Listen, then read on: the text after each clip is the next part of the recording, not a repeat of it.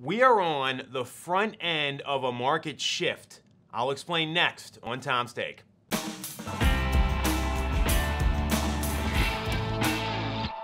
definitely going to want to watch this one. If you've had any conversations about real estate in 2021, the main thing we hear from buyers and from sellers is that there's no inventory out there. There's no homes available. This has been the talking point how competitive, how incredible, how amazing the market has been since things opened back up in May of 2020 after our Pennsylvania shutdown. And here's what I know a lot of agents are still saying, hey, there's still nothing for sale. There's still not a lot of inventory. There's no homes available. And I want to share some data with you that indicates the exact opposite. In fact, what it tells me is that we're starting to see the market shift where there's going to be more homes coming to the market. A couple weeks ago, we talked about the Realtor.com survey about homeowners wanting to make a move in 2022. What I want to do today is break down what was going on in April versus what's happening now through the end of October, the most recent stats. So, to give you an idea, here's where we are inventory, number of units for sale.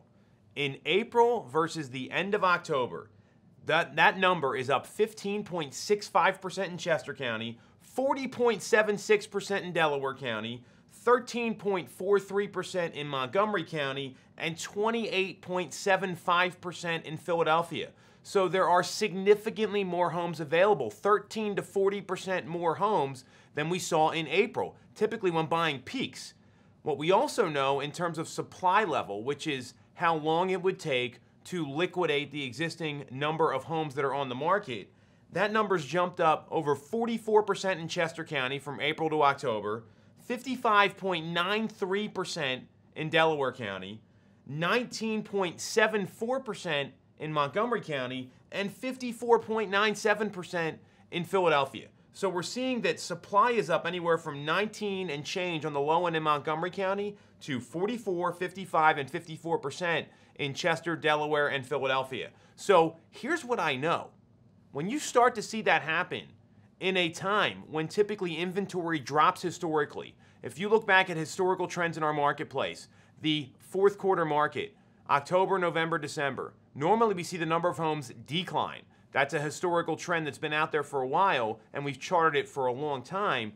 We're seeing this number jump up dramatically from April. That tells me that the market's not going to all of a sudden do a 180 and prices are going to go down. That's not what we're talking about here. We're seeing more of a seasonality and normalization, meaning we're not going to see 10% appreciation next year. It's probably going to be between 5 and 6 because these supply levels, we're still at like a 1 month, 1.2 month supply, which is very low considering the even market is at 6 months where a buyer and seller have equal leverage. We're not close to that. We've just seen numbers come up a lot since April when the market was at a frenzy, when homes were selling with 10 offers. Now maybe you're only getting two or three offers on your home. So knowing that we're seeing inventory jump substantially since the spring, what does that mean for buyers and sellers? So if you're a seller, I'd be pausing the waiting until the Super Bowl strategy that every realtor tells you. Throw that person right out of your house. I said that before. I would be jumping the market and getting my home on the market now because there's still a lot of demand out there. The demand from buyers is intense. They want to get into homes. They've lost out on four, five, six homes, and the serious people are out looking this time of year.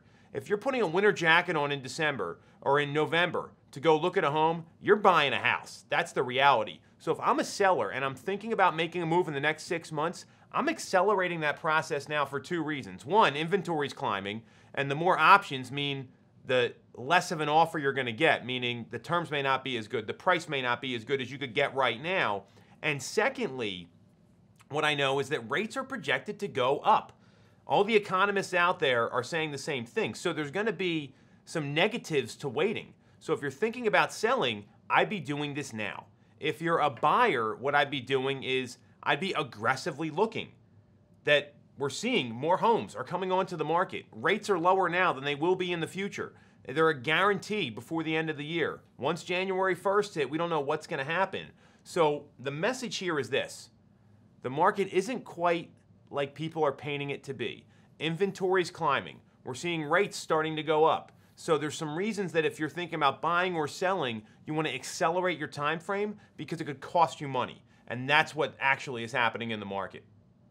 Any questions? You know where to reach me. Otherwise, we'll be back next week.